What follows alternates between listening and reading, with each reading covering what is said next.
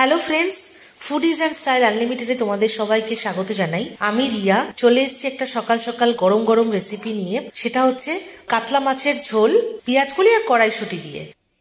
তো এখানে আমি তিন পিস বড় বড় কাতলা মাছ নিয়ে নিয়েছি।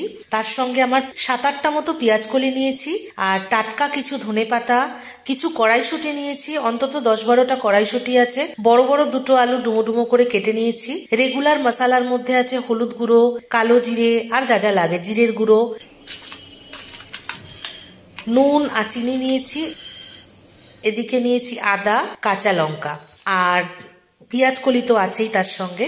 গরম গরম রেসিপি পেঁয়াজ কলির এই মাছের ঝোলটা খেতে খুবই ভালো লাগে। তো চলো রেসিপিটা দেখে নেওয়া যাক। প্রথমে তেলটা গরম করে নিয়েছি কড়াইয়ের মধ্যে। এইবারে আমি মাছগুলোকে নুন হলুদ দিয়ে মাখিয়ে নিয়ে এইগুলোকে আমি এক এক করে ছেড়ে দিচ্ছি। মাছগুলোকে আমি ম্যারিনেট করে রেখে দিয়েছিলাম নুন হলুদ দিয়ে। এবার আমি গরম গরম তেলের মধ্যে মাছগুলোকে ভালো করে ভেজে নেব।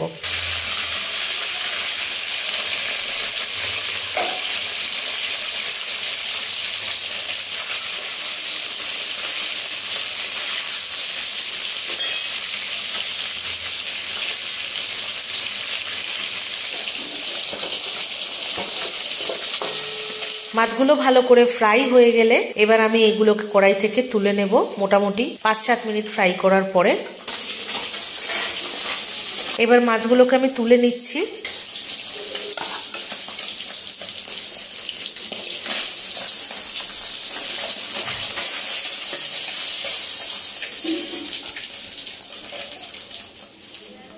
এইবারে কড়াইয়ের মধ্যে যে গরম তেল আছে, তার মধ্যে আমি বেশ খানিকটা কালো জিরে ফোড়ন দেব। কালো জিরেটা দিয়ে দিলাম।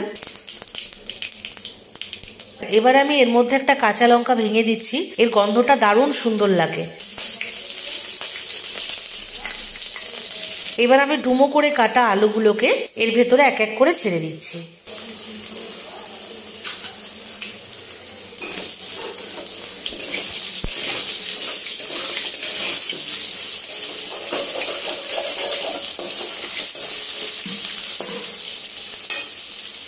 আলুগুলোকে হালকা হাতে বেশ ভালো করে আমি ফ্রাই করে নেব।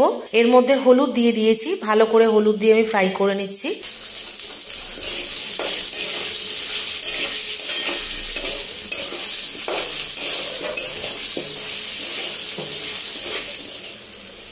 এইবার আমি এর মধ্যে পেঁয়াজ কুলিগুলোকে এক এক করে ছেড়ে দিয়েছি। পেঁয়াজ কুলিগুলো একটু পাঁচ সাত মিনিট কষে নেব ভালো করে এর সাথে।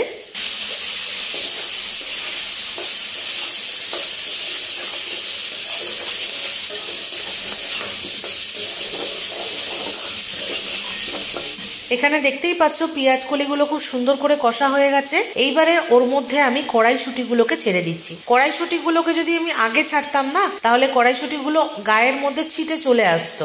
সেই কারণে যখন কিনা আলু, তারপরে পেঁয়াজ কলি এগুলো ভাজা হয়ে গেছে, ওই সবজির থেকে যখন জুসটা বেরিয়েছে, ওর মধ্যে আমি কড়াইশুটিটা দিয়ে দিয়েছি যাতে কিনা কড়াইশুটিটা ছিটে আসতে না পারে। এবার এর মধ্যে আমি হলুদ গুঁড়ো, জিরের গুঁড়ো এগুলো এক এক করে দিয়ে দিচ্ছি।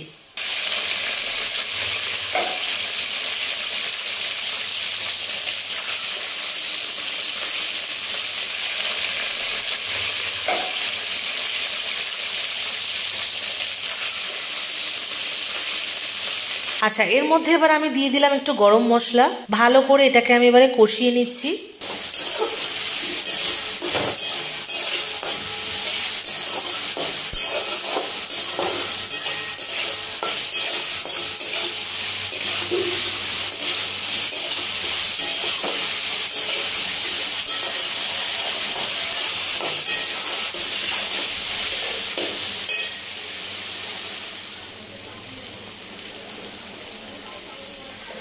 এবার আমি এর মধ্যে একটু জল ঢেলে দিলাম, যতটুকু আমার লাগবে জল। ততটুকু জল ঢেলে দিচ্ছি।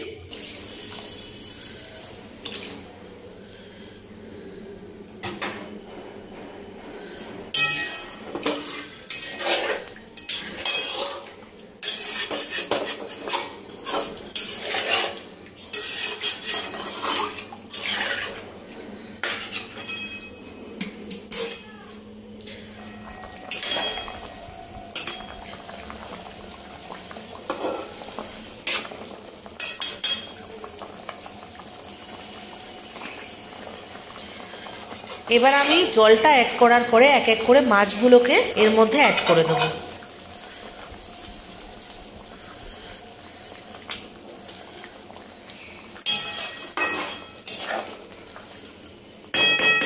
তো মাছের ঝোলটা এখানে দেখতেই পাচ্ছ, প্রায় পনেরো থেকে কুড়ি মিনিট ফুটেছে। মাছের ঝোলটা প্রায় পনেরো থেকে কুড়ি মিনিট এভাবেই হবে।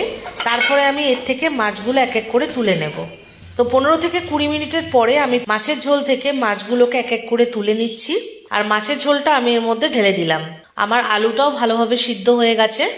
তো এই হলো আমার শীতকালে গরম গরম পেঁয়াজ কলি আর কড়াইশুটি দিয়ে মাছের ঝোল। তোমাদের কেমন লাগল অবশ্যই জানাবে। আর চ্যানেলটা সাবস্ক্রাইব করতে ভুলবে না। শীতের নানান রকমের রেসিপি নিয়ে আমি চলে আসব। মাছের রেসিপি চিকেনের রেসিপি মাটনের রেসিপি এখানে পেয়ে যাবে। আর এর সঙ্গে আরও নানান রকম রেসিপিও থাকবে। আর তোমাদের রেসিপিগুলো আমার সাথে শেয়ার করো পারলে। রান্নাটা ভালো লাগলে অবশ্যই চ্যানেলটা লাইক করবে সাবস্ক্রাইব করবে। আর প্রচুর প্রচুর শেয়ার করতে ভুলবে না।